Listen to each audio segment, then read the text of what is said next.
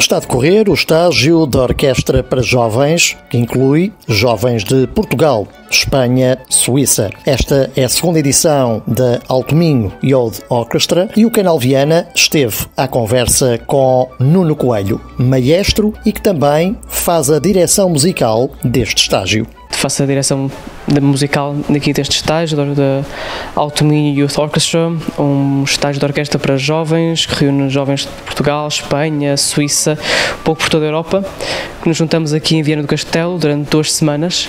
Eh, estamos na nossa primeira semana, estamos a fazer também uma massa classe de direção de orquestra com oito jovens maestros, um pouco de todo o mundo. Temos polacos, temos belgas, temos portugueses, espanhóis e, e vamos ter vários concertos ao longo deste fim de semana. Vamos ter um concerto sinfónico, uma grande sinfonia de Dvorak, no domingo, às 5 da tarde, no Teatro Sá de Miranda, aqui em Viana do Castelo.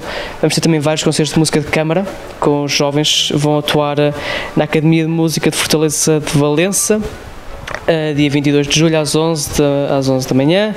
Vamos também no mesmo dia, 22, na Bienal Cerveira, às 4h30, os nossos sopros vão lá atuar e às 21h30 em caminho no Teatro Valadares, um grupo de música de câmara de cordas vai também atuar.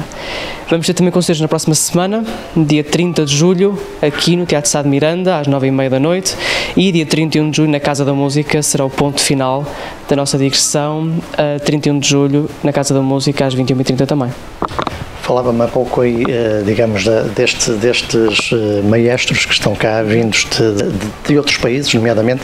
Isso é obrigo de algum projeto? Não, isso é uma massa classe aberta a todos os, os jovens maestros. Temos um inscrevem-se, temos um grande pedagogo connosco, o professor Johannes Schlefli, que deu aulas muitos anos na Universidade de Zurique, na Suíça.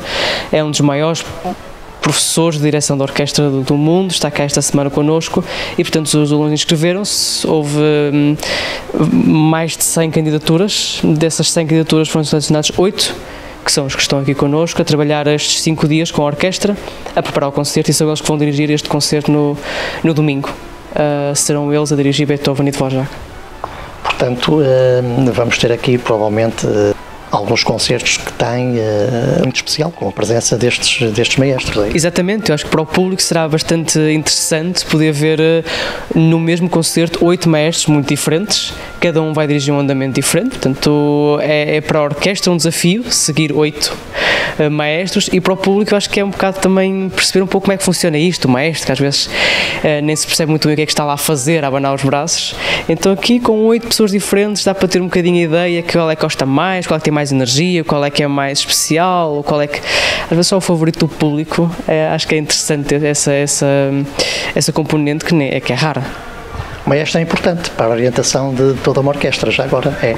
Sim, é o maestro que é responsável por. Hum, a música, os músicos conhecem a obra, conhecem a música, mas a interpretação saber se quão rápido, quão lento, qual é o carácter da obra, isso é decidido pelo maestro, e é o maestro que é responsável por, por essa uh, interpretação da partitura e pelos ensaios, por gerir o tempo de ensaio, o que é que se faz, como é que se faz, uh, e acaba por ser um pouco um papel também quase de treinador, de tentar uh, obter o melhor possível dos seus, dos seus músicos.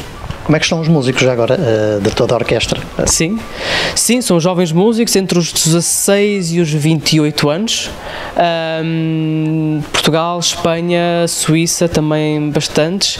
E são jovens muito motivados, com muita vontade de trabalhar um, e é isso que também nos inspira um pouco a, a, levar este projeto para a frente, é ver a evolução deles uh, de um dia para o outro, de semana para semana e além destes estágios de orquestra temos também aulas de música de câmara e, e de excertos de orquestra com grandes instrumentistas, grandes músicos de orquestra de várias orquestras cá em Portugal, em Espanha, Dinamarca, etc., que vêm cá dar, as, dar a sua, sua sabedoria e experiência aos jovens músicos isso também tem sido muito muito valioso. As expectativas são altas para esta segunda edição? Sim, muito altas. Acho que a primeira edição correu muito bem e o projeto já cresceu bastante para este ano, para esta segunda edição. Já temos duas semanas, temos mais tutores de instrumento, temos mais concertos, temos concertos de música de câmara um, e a expectativa é só continuar a crescer.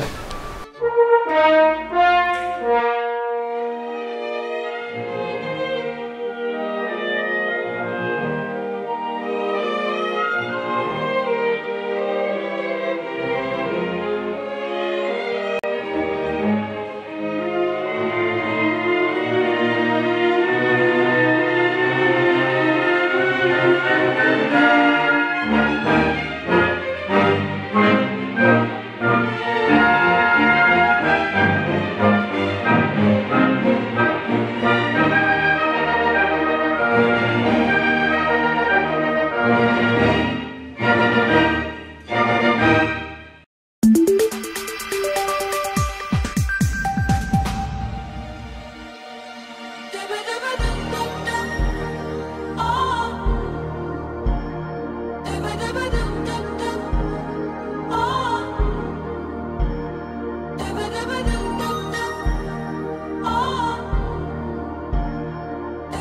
never.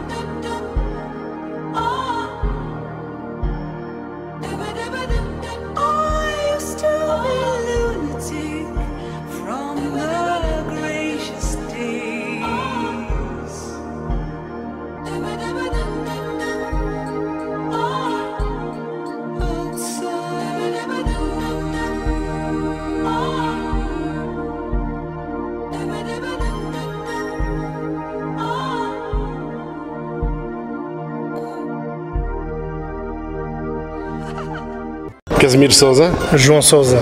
A ambulância Reis Souza foi em homenagem ao meu falecido pai. Temos a ambulância dos tipos, temos a ambulância de, de, onde o doente vai deitado, temos em cadeira de rodas e temos também andantes. A gente tem condições especiais para clientes de subsistema de saúde, digamos subsistema ADSE, SAD, PSP, SAD, GNR, assim como também trabalhamos a partir de 1 de agosto, iniciamos a trabalhar com o Serviço Nacional de Saúde.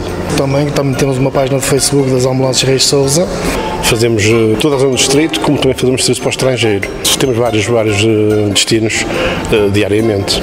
Também o nosso número está gravado no, nos carros, contacto. E procurem-nos se precisar. Visitem também a nossa loja.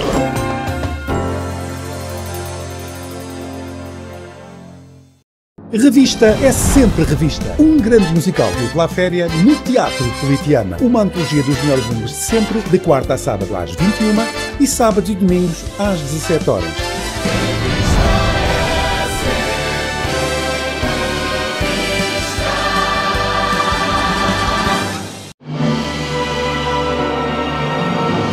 Cinderela, o musical dos seus sonhos a maravilhosa superprodução de Philippe Laféria num espetáculo deslumbrante para toda a família. Cinderela, no Teatro Politeama.